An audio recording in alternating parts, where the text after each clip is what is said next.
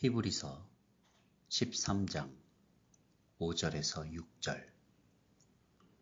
그가 친히 말씀하시기를 그러므로 우리가 담대히 가로되 주는 나를 돕는 자신이 내가 무서워 아니하겠노라.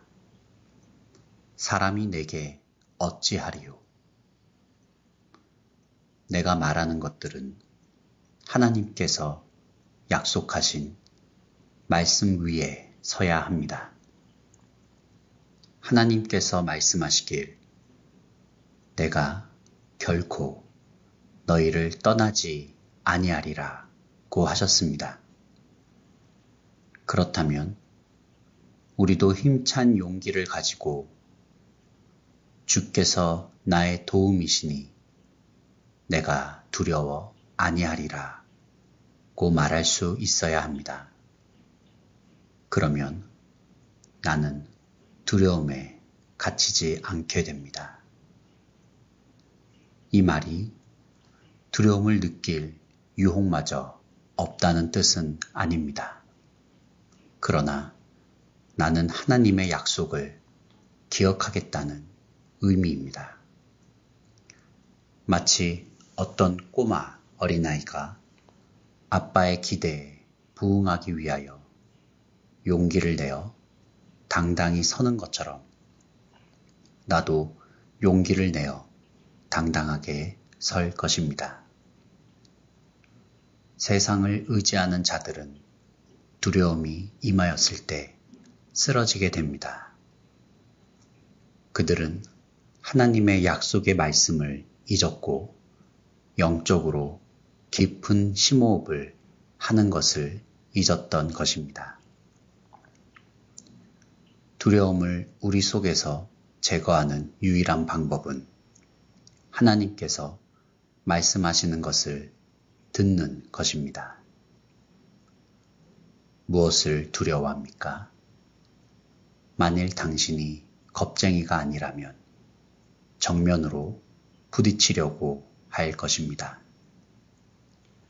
그러나 여전히 두려움의 감정은 남아 있습니다.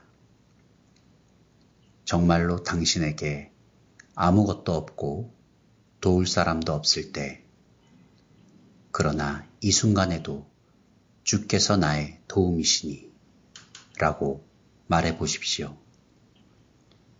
당신은 주님의 음성을 듣고 그대로 말합니까?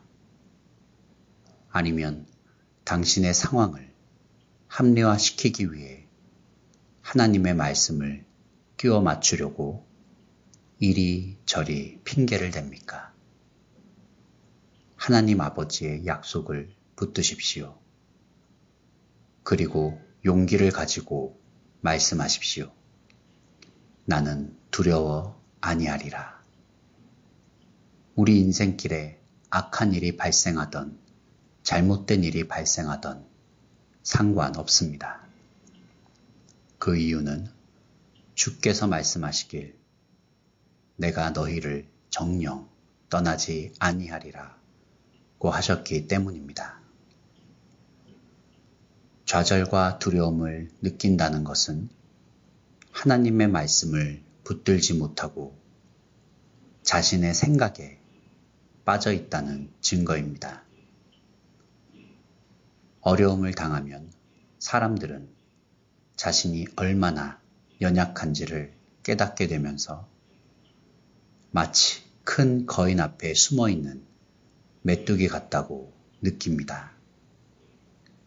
심지어 하나님마저도 계시지 않는 것처럼 생각됩니다. 그러나 이러한 때 하나님의 약속을 기억하십시오. 내가 과연 너희를 버리지 아니하리라. 하나님의 말씀에 으뜸음을 듣고 그 노래를 따라 찬양하는 것을 배웠는지요.